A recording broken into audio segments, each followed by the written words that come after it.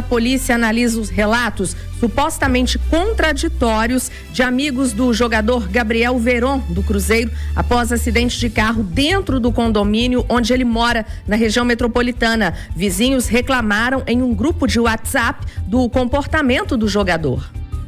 Dois amigos do atacante Gabriel Veron entraram em contradição ao falarem com a Polícia Militar sobre o acidente que aconteceu ontem à tarde em um condomínio de luxo em Vespasiano, na Grande Belo Horizonte.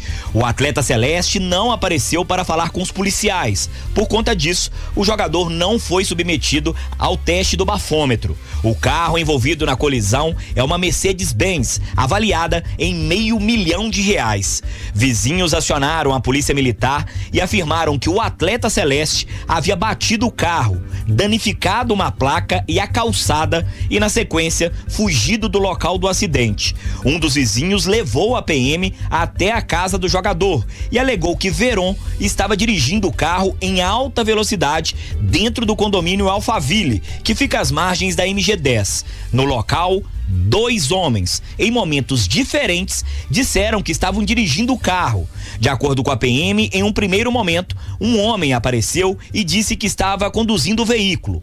Pouco tempo depois, um segundo homem se apresentou como responsável pela condução do carro no momento da colisão. Neste momento, a PM disse que um homem já havia se apresentado como motorista e passou a questioná-lo se ele estaria tentando acobertar o jogador. Os policiais disseram que o homem aparentou nervosismo, entrou para dentro da casa do atleta, fechou a porta e só reapareceu quando o carro já estava em cima do caminhão reboque. O vizinho disse para a PM que os dois estavam mentindo. Garantiu que viu o momento em que o jogador bateu o carro e ressaltou que tentou impedir que ele deixasse o local. No entanto, o vizinho disse para a PM que foi ignorado por Veron, que parou o carro em cima da calçada e entrou para o interior da sua própria casa. A Itatiaia teve acesso a mensagens no grupo de WhatsApp do condomínio. No grupo, os vizinhos reclamam do comportamento do atleta. Em contato com a Itatiaia, os vizinhos disseram que o jogador é conhecido por circular em alta velocidade com um carro dentro do condomínio. Um dos vizinhos chegou a chamar o jogador de baderneiro.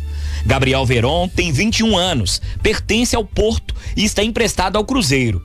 Ele participou de 20 jogos neste ano, sendo 15 pelo Brasileirão e 5 pela Copa Sul-Americana. O atacante já fez quatro gols e uma assistência pela competição nacional. Na vitória cruzeirense do último sábado por 2 a 1 sobre o RB Bragantino, no Independência, Veron marcou o primeiro gol do time celeste. Até o momento, o Cruzeiro e o atleta ainda não se manifestaram sobre o ocorrido. Repórter Mardélio Couto.